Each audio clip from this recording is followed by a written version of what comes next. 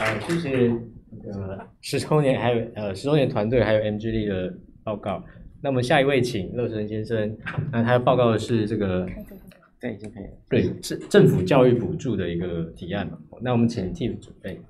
好，呃，大家好，我是 G 里 B 的新人，我叫乐生。好，那我要做的提案其实蛮简单的。好，谢谢大家。不知道为什么得到掌声。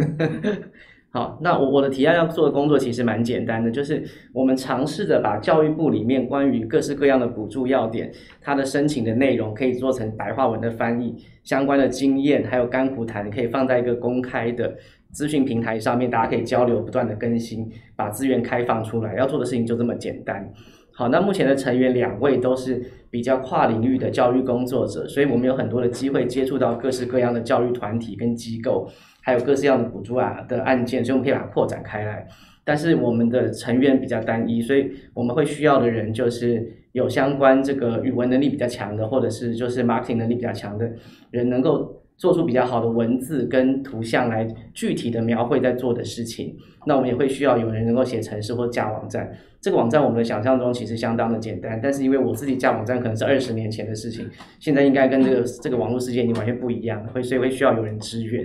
好，要做的事情非常的简单。那后面来谈一下为什么要做这件事情。好，呃，我们的政府有很多的政策，它选举时候很多的政策，他就会定了法律，然后会定了这个制度，定了办法，定了原则去补助社会上的人士，不管是学校、机构、团体、个人做这些，不管社会教育也好，或者是新创教育也好，或者是这个终身教育，然后这个新住民，然后国际教育，然后是这个各式各样的教育的这个协助我们的社会。但是这些东西，它因为政府本身的官僚系统，它往往流于就是很非常的形式主义化的东西。好，所以最后的结果是看到下面有很多的单位，他拍了非常多的照片，写了很多的文章，呈现了成果给这个政府。政府就说我已经完成政策，说我有政绩，但是实际上真的到我们人民手上的东西非常的少。好，我举个例子，呃，各位我们一般都念过公立学校，都知道有反毒反烟教育，有没有人没有看过反毒反烟教育的？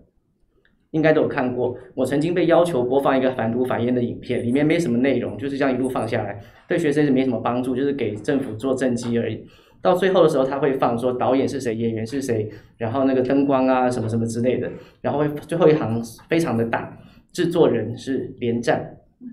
好，我不知道连先生是不是会拍电影，但是各位可以想象得到，政府的这些资源几百亿的钱都流到了哪里去？好，它的效益是什么样的状况？所以很希望各位有能够能够来共襄盛举，能够来帮我们的忙，谢谢大家。那所以呃，对于这个政府的教育政策补助，因为蛮仰赖民间的投入嘛，所以这一块能更白。